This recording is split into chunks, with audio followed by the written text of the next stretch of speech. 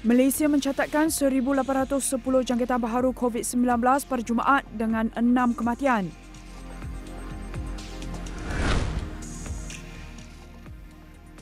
Jenazah Allahyarham Muhammad Zulkifli Buang, Naib Ketua Amanah Bersatu Kota Tinggi, selamat dikebumikan.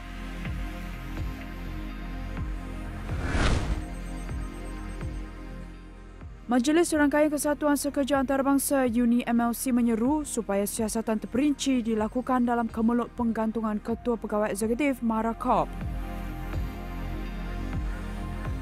Laporan penuh di saluran 501 dan astrawani.com.